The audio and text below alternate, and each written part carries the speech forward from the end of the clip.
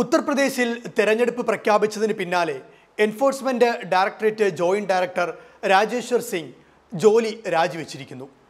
സംഭവം അതല്ല.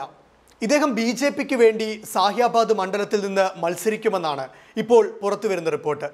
നേരത്തെ തന്നെ ഇദ്ദേഹം ബി ജെ പിയിൽ ചേരുമെന്ന് അഭ്യൂഹമുണ്ടായിരുന്നെങ്കിലും ഇപ്പോഴാണ് സംഭവത്തിൽ ഒരു സ്ഥിരീകരണം വന്നിരിക്കുന്നത്. മികച്ച കുറ്റാന്വേഷകനായി പേരുകേട്ട രാജേശ്വർ സിംഗ് രാജ്യത്തെ പ്രശസ്തമായ നിരവധി അഴിമതി കേസുകളുടെ അന്വേഷണത്തിന്റെ ഭാഗമായിരുന്നു. Aircel Maxis case two G spectrum case കൽക്കരി അഴിമതി കോമൺവെൽത്ത് ഗെയിംസ് അഴിമതി കേസ് അഗസ്ത വെസ്റ്റാലാൻഡ് അഴിമതി കേസ് എന്നീ പ്രമാദമായ കേസ് അന്വേഷണത്തിന്റെ ഭാഗമായിരുന്നു രാജേശ്വർ സിംഗ്.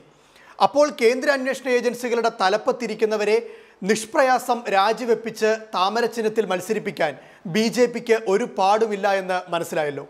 കേന്ദ്ര അന്വേഷണ ഏജൻസികളെ ഉപയോഗിച്ച് പല സംസ്ഥാനങ്ങളിലും പ്രത്യേകിച്ച് കേരളത്തിലടക്കം നടത്തിയ നാടകങ്ങളൊക്കെ ഇപ്പോൾ ഒന്ന് ഓർത്തു നോക്കണം.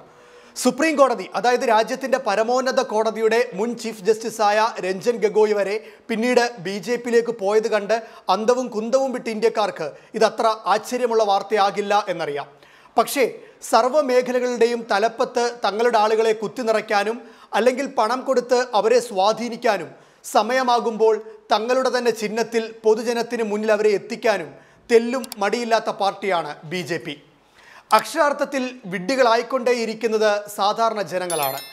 ബി ജെ പി ഭരിക്കുന്ന നാല് സംസ്ഥാനങ്ങളിലടക്കം അഞ്ച് സംസ്ഥാനങ്ങളിൽ കേന്ദ്ര തെരഞ്ഞെടുപ്പ് കമ്മീഷൻ തെരഞ്ഞെടുപ്പ് പ്രഖ്യാപിച്ചിരിക്കുകയാണ്. ഉത്തർപ്രദേശിലാണ് ആദ്യം വോട്ടെടുപ്പ് നടക്കുന്നത്. ഫെബ്രുവരി പത്ത് പതിനാല് ഇരുപത് ഇരുപത്തിമൂന്ന് ഇരുപത്തിയേഴ് മാർച്ച് മൂന്ന് ഏഴ് എന്നീ ഏഴ് ഘട്ടങ്ങളിലായാണ് ഉത്തർപ്രദേശിൽ തെരഞ്ഞെടുപ്പ് അരങ്ങേറുക. ഇനി ഏതൊക്കെ മേഖലകളിൽ നിന്ന് ഏതൊക്കെ പ്രമുഖർ ബി ജെ പി ടിക്കറ്റിൽ മത്സരിക്കുമെന്ന് കണ്ടു തന്നെ അറിയണം. നമുക്കറിയാം സിനിമാ മേഖലയിൽ നിന്നും ക്രിക്കറ്റ് മേഖലയിൽ നിന്നും നിരവധി പേരാണ് ബി ജെ പിയിലേക്ക് അടുത്തിടെ എത്തിയത്. മറ്റു പാർട്ടികളിൽ നിന്നും ആളുകളെ സ്വാധീനിക്കുന്നത് പണം നൽകിയാണെങ്കിൽ സീറ്റ് വാഗ്ദാനം ചെയ്താണ് മറ്റു മേഖലകളിലുള്ള പ്രമുഖരെ ബി തങ്ങളിലേക്ക് വലിക്കുന്നത്. തെരഞ്ഞെടുപ്പിൽ കള്ളപ്പണം ഒഴുക്കാൻ ബി ജെ പി ആദ്യം കണ്ടെത്തിയ വഴിയായിരുന്നു ഇലക്ട്രൽ ബോണ്ടുകൾ. അതായത് റിസർവ് ബാങ്കിന് പോലും ഭീഷണി സൃഷ്ടിച്ച നീക്കമായിരുന്നു അത്. കള്ളപ്പണം തടയാൻ എന്ന പേരിലായിരുന്നു ഇലക്ട്രൽ ബോണ്ട് കൊണ്ടുവന്നത്.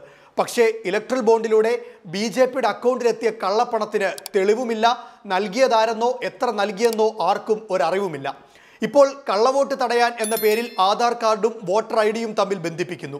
അങ്ങനെ തന്ത്രങ്ങളെല്ലാം നടപ്പാക്കുകയാണ്. ഒപ്പം തങ്ങൾക്ക് വേണ്ടി ഇത്ര നാൾ സേവനം ചെയ്തവർക്ക് ഉപകാരമായി തെരഞ്ഞെടുപ്പ് സീറ്റുകളും.